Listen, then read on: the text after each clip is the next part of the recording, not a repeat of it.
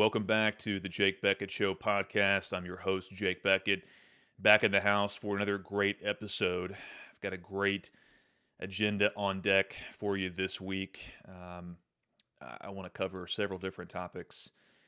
But the first thing, breaking news today, and I'm sure this will progress over this weekend. Uh, but as I predicted last week on the podcast, Daniel Penny was placed under arrest today and charged with manslaughter in New York City by a woke, radical, left wing, Soros funded DA there in Manhattan. And, you know, to me, I, as I said last week, it was the big news story of last week. I addressed it. I, I said, and I, I tweeted about this instantly, immediately after it happened. As soon as I saw that video, I knew this was the inevitable result.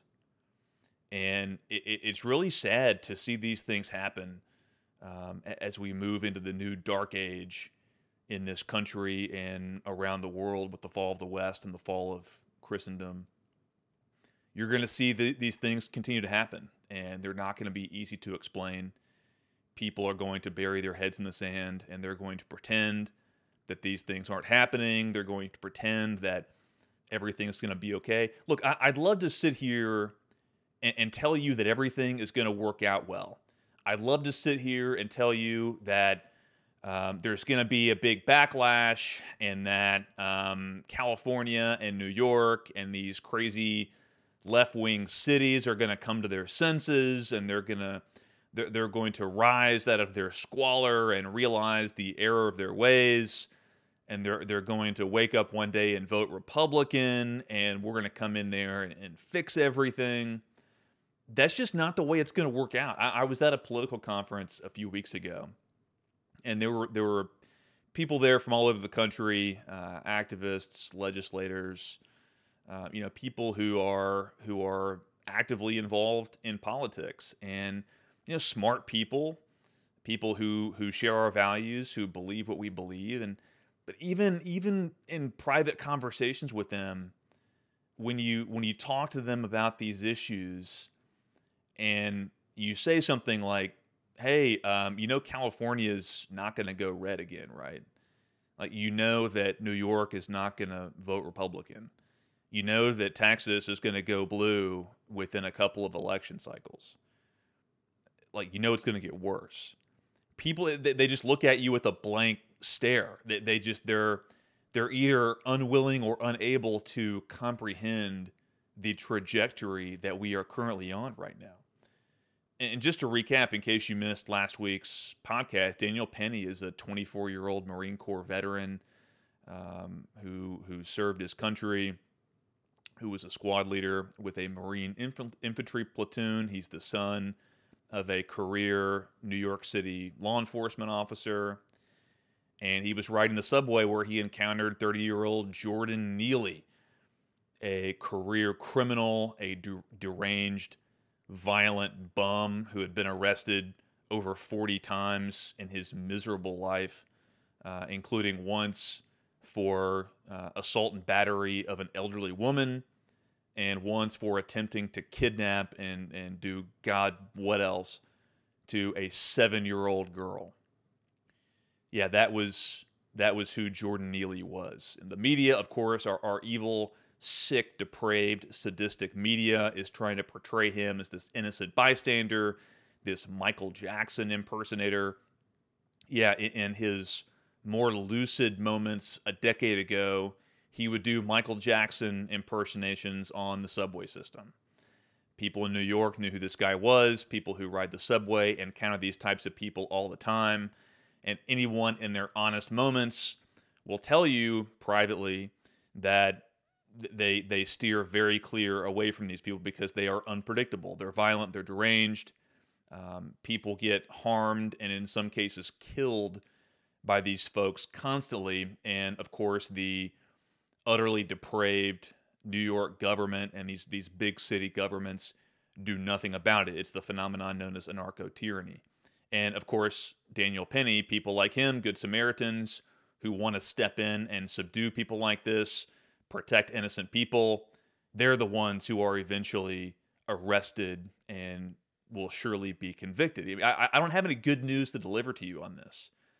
Daniel Penny is going to be lynched by the Manhattan DA. He's going to be lynched by what surely will be a left wing jury.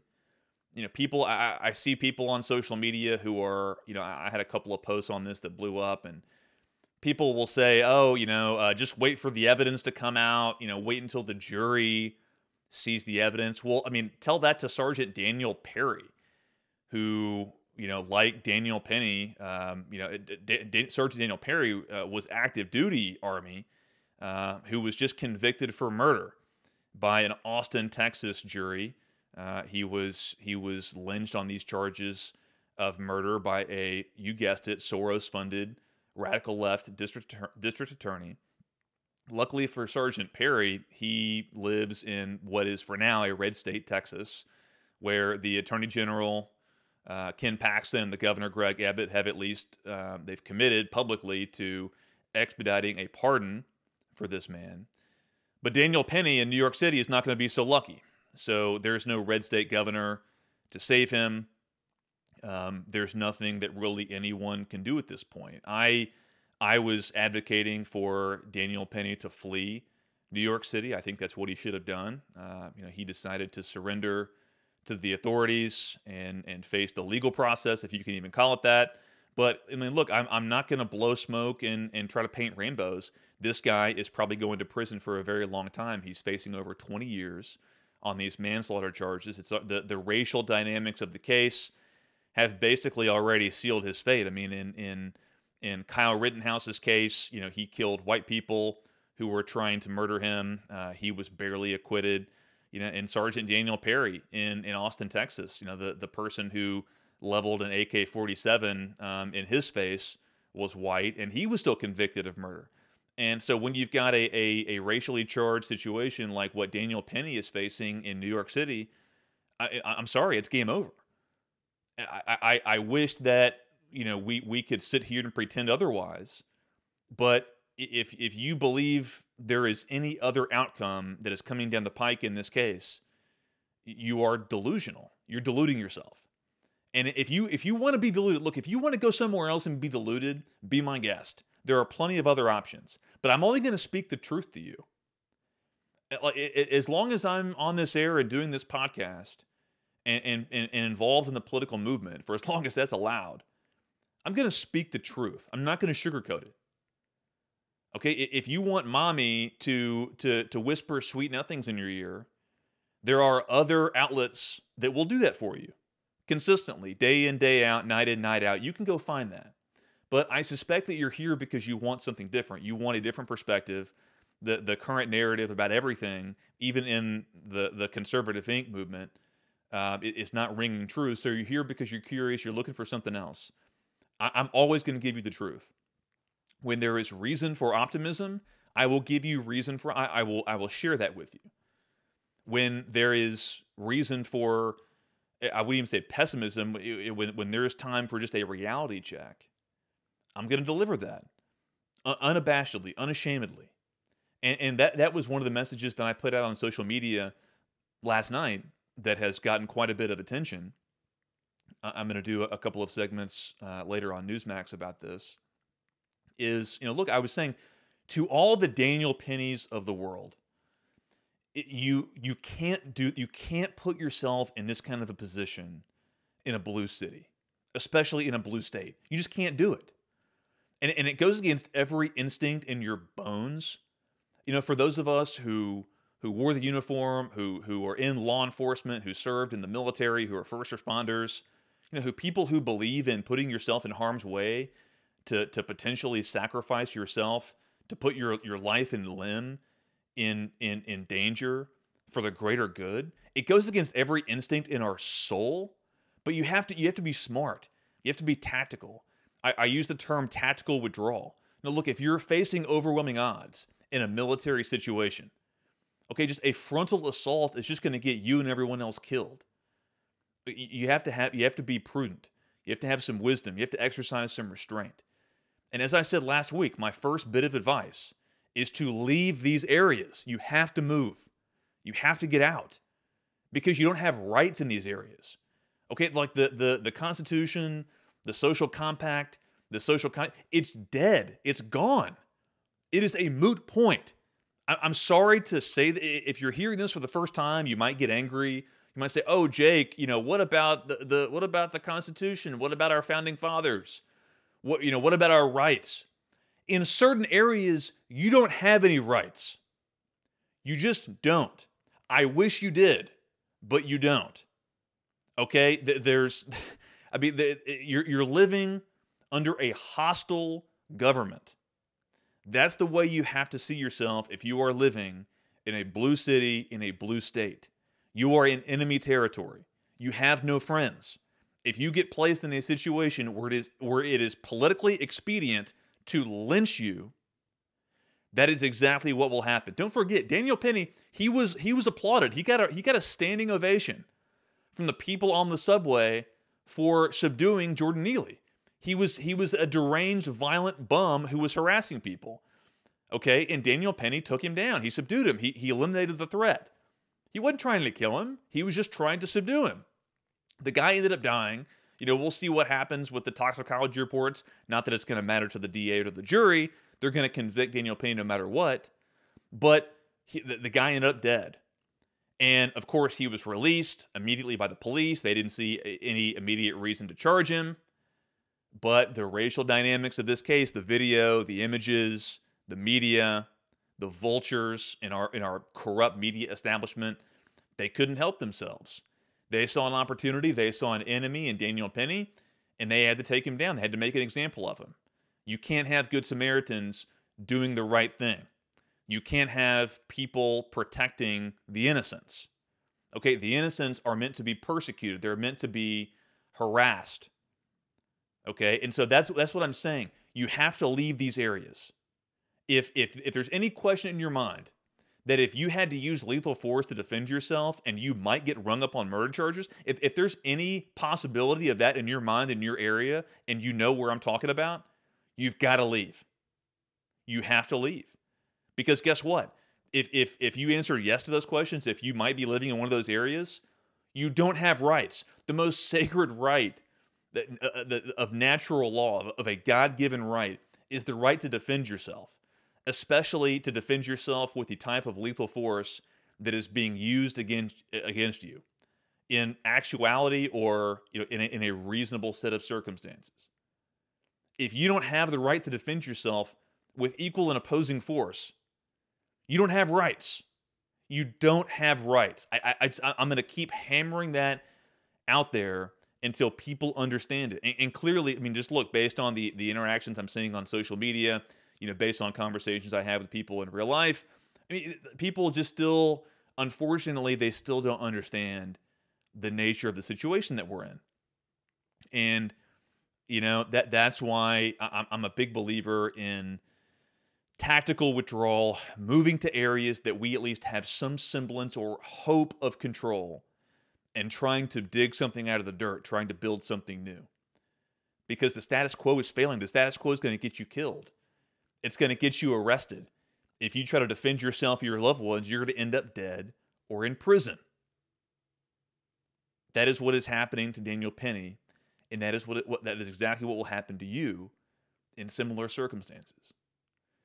So I'm going to keep an eye on this case. Obviously, it's it's you know it's it's going to go to trial, and, of course the the disgusting family of Jordan Neely is out there in front of the courthouse holding a press conference with their attorneys.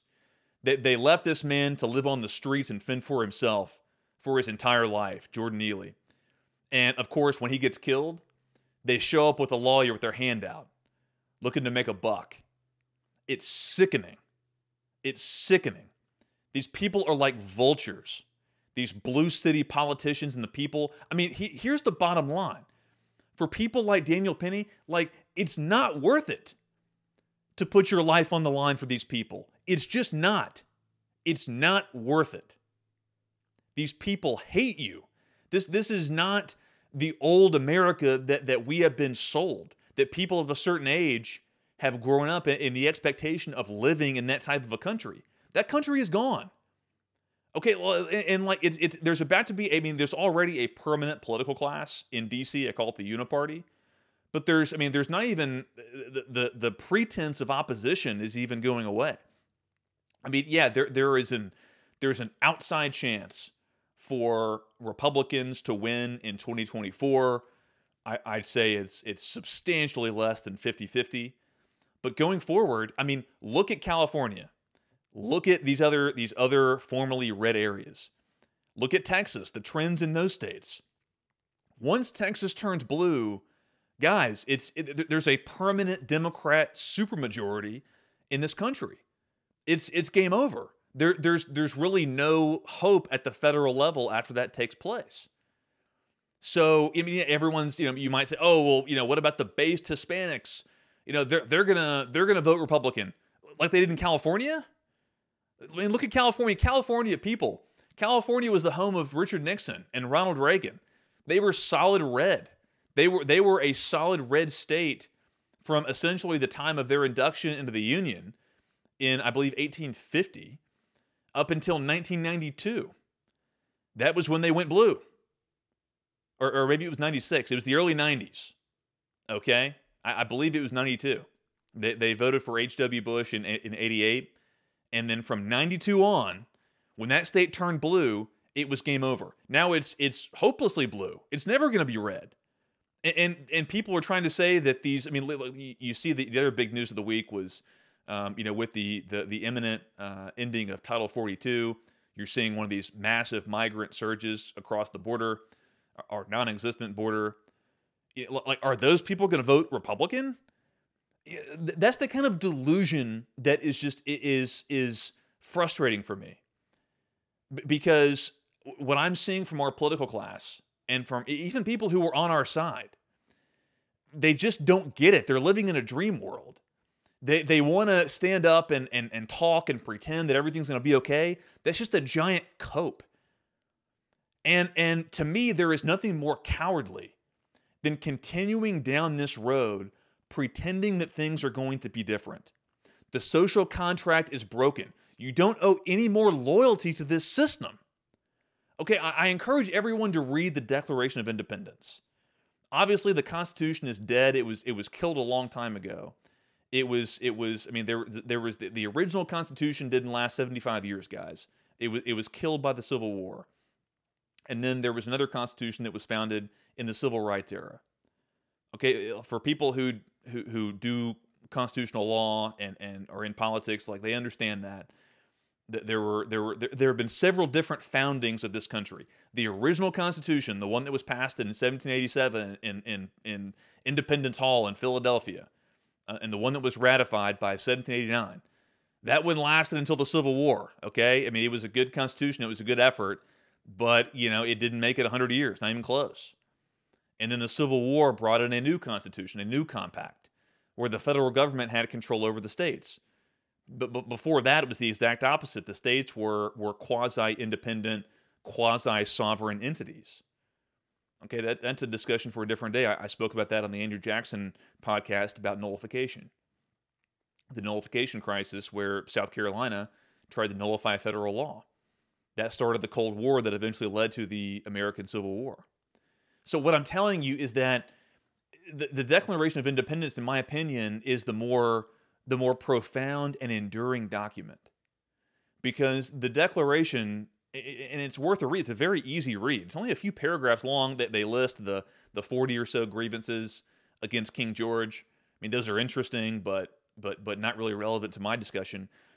Go read the Declaration of Independence because the reason why I think it is so profound and enduring, especially compared to the Constitution and everything else that's a dead letter, is that the Declaration lays out the, the specific set of circumstances whereby a, a, a rational, God fearing people have the right to rebel against their government. The, the, the rights that a people have to, to acknowledge that the social contract is broken. Okay, without, without getting too deep into political theory, the social contract is, is essentially the modern social contract that, that Locke and others described. I mean, really, it goes back to Hobbes, but essentially the social contract is we as a free people as free men we agree to to give away some of our rights in exchange for a government that protects the rest of those rights and, and the idea is that that arrangement will be better than the the, the a free for all, than than a, a system where there is no government.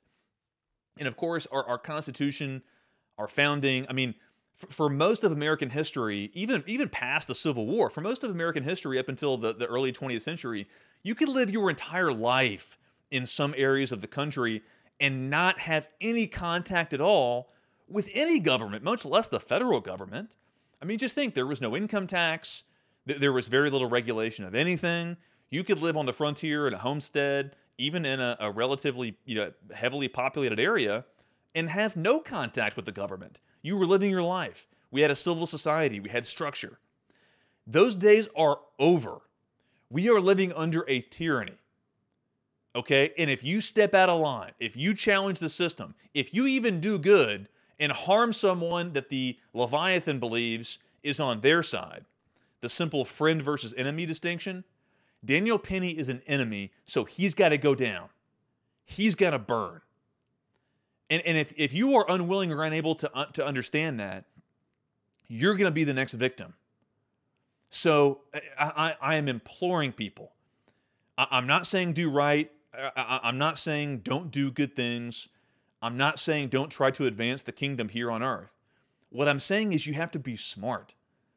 You know, you know when, when Paul was writing to the church in Rome, you know, the, the, the, the, the book of the Bible we know is Romans, he explicitly told them, hey, you're living, you're living under the auspices of an evil government. You should not try to get in between this government and God's judgment. So, so st- stop trying to get out there and, and make a difference politically. And in these blue areas, I think that's the mindset we have to have. You, you, we can't affect change. And so any action that you take, anytime you poke your head out, you're just going to get stomped. So either leave and go to an area where you can affect change, or just keep your mouth shut and try to survive. So that's that's my advice when it comes to the Daniel Penny situation. And and those are my thoughts on that issue. We'll continue to monitor. But man, I, I it's it's extremely upsetting. It angers me to see how few. I mean, I, I haven't seen. I just I tweeted this today. I haven't seen one military veteran in Congress speak out in support of Daniel Penny. These people are cowards. It's like the Black Rifle Coffee Company losers who who came out against Kyle Rittenhouse. You know, everyone's just out there in their own little fiefdom, and they, they don't want to they don't want to stick up for their brothers in arms. Okay, Daniel Penny is someone who was doxxed, as I said last week. The U.S. Marine Corps gave him up. They, you know, the, the they they were working with regime journalists as they always do, just like they did against certain Republican candidates in the last uh, congressional cycle. They they doxed Daniel Penny so the regime could find out who he was and and and we have a few veterans in Congress who haven't said a damn word about Daniel Penny. No, no support, no, not even a tweet, no statement, no saying, "Hey, this is ridiculous," and, and much less what I was advocating for was a, a red state legislature, a red state governor, a red state say, "Hey, we're going to be a haven for people like this." Daniel Penny, come on down. We're not going to extradite you. We're, we're, we're going to we're going to be a sanctuary state for American patriots who are trying to do the right thing and protect innocent people on a New York City subway. It makes me sick. So the the other news this week was the the Donald Trump town hall on CNN. I, will address that a little bit, but really what I want to talk about is, you know, there was the, you know, um, you know that was, you know, it, it was what it was. I, I'm not going to get too deep into this into this race in 2024, especially the primary. You, you, just based on my thoughts on this podcast, you you kind of know where where my views are. Um, you know where we're at as a country. There's not much that anyone can do at the federal level. Uh, you know, especially a a Republican president. You, you would have to have the kind of will to power that is so rare these days.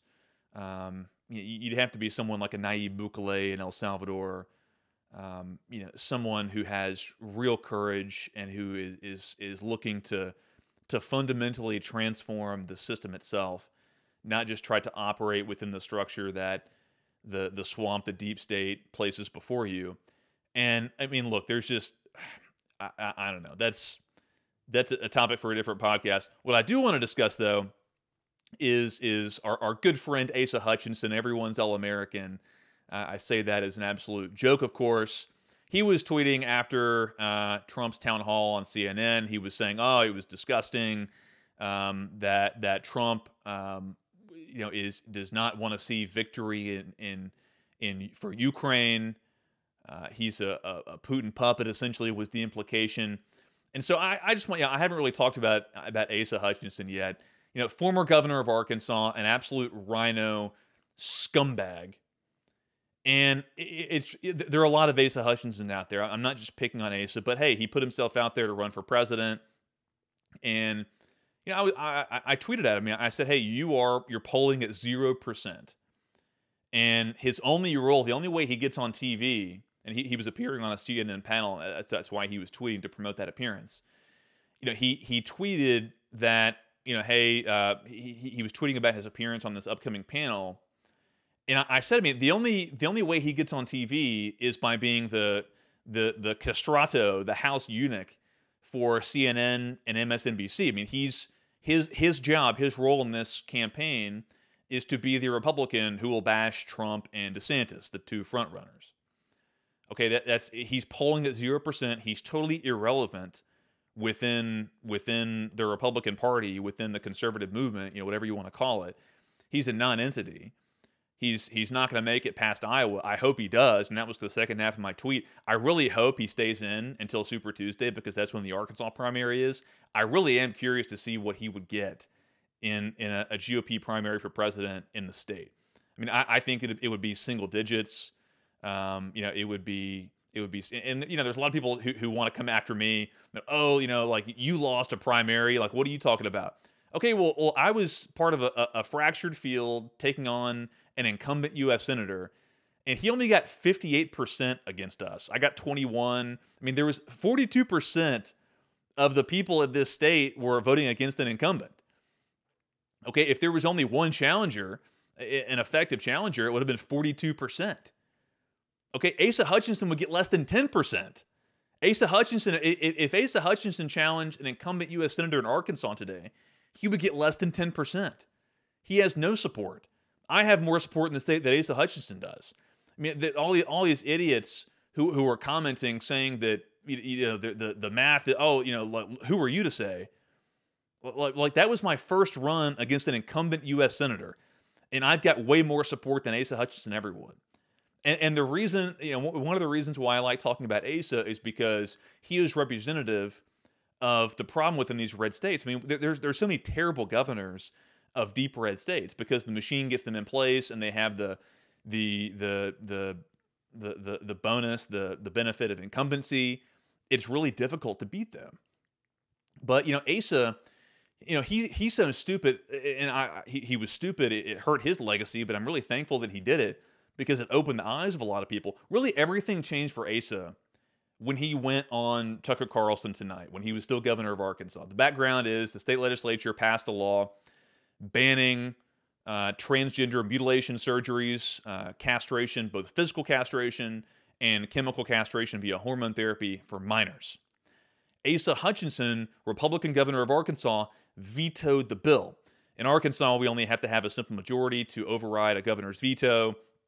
And so the veto was overridden. The law passed, went into law. But but Asa vetoed the law. And what was even more interesting and stupid on his case was that he decided to go on Tucker Carlson tonight and try to match wits with Tucker about the law. I mean, Asa is so stupid, he actually believed that what he was doing was conservative. He tried to say that, oh, you know, I, am following in the legacy of William F. Buckley and Ronald Reagan um, by, by not getting involved in people's healthcare decisions, as if Ronald Reagan was a proponent of castration for minors. You know, chemical and physical castration for minors. Uh, apparently, that's conservatism in Asa Hutchinson's book. Of course, in Arkansas, there's all kinds of law, laws in the books about what minors can't do. Minors can't get a tattoo. They can't get married in most circumstances. Okay, they can't purchase alcohol. But Asa Hutchinson says, oh, yeah, they should be able to chop off their genitals. That is that is what I am fighting against in, in a red state like Arkansas and in red states all over the country. it's just that's what we're dealing with. We have a fake, phony movement led by people, absolute chumps like Asa Hutchinson. And so, yeah, I'm going to take every opportunity that I can to humiliate people like him. That's why I'm glad he's running for president. Is because you know, hey, he's going to try to make his case for why uh, chemical castration surgery, physical castration surgery is conservative. He's going to try to make that case to Iowa and make that case around the country, and he's going to get rejected. Now, why he's doing this? I mean, I, I think it's really twofold. I think Asa is he's delusional. Um, you know, he has a small group of people around him who who I, am guessing. I mean, I know some of these people, but um, you know, they whisper sweet nothings in his ear and tell him that he's he's the greatest. And um, you know, the the backstory on the Tucker thing. I mean, he fired people over that Tucker appearance. You know, because you know he he thought that he was duped. Uh, he he thought that um, you know Tucker was going to take it easy on him. I mean, but that, that's that's who Asa is as a man. I mean, he, he's not he's not really a man. He's a coward. He's an absolute disgrace. You know, he goes on there and lights his political career on fire on Tucker Carlson tonight, and then he fires people because they booked the appearance for him. That's who Asa Hutchinson is. And I'm going to do everything that I can from from my foxhole to ensure that he's humiliated because that's what he deserves. And we have to, in, in the limited way that we can, you know, I, I'm trying to expose people like him so that we don't keep making the same mistakes over and over again. Maybe it's too late. In, in, many ways, it already is. We don't really have a nation anymore. We're not really, mean, we, we don't even really have a concrete goal of something to fight for uh, on the right because there's nothing really left to conserve. We have to change our mentality to, to building something new, to forging something out of the ashes. I don't think things have gotten bad enough yet that are going to awaken enough people to give that movement critical mass, but we'll see. And, you know, in, in, until that moment happens, I'm going to be here. I appreciate you tuning in. I'm always going to deliver the truth to you, unvarnished, unabashed. I'm going to give you the things here that you're not going to hear really anywhere else. So make sure to follow me on social media, like and subscribe to this podcast if you enjoy it, share it with some of your friends. We're getting a lot of traction.